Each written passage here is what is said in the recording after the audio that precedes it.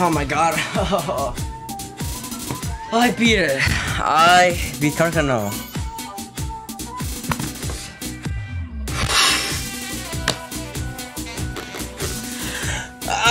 oh my god, that's I'm so happy, bro.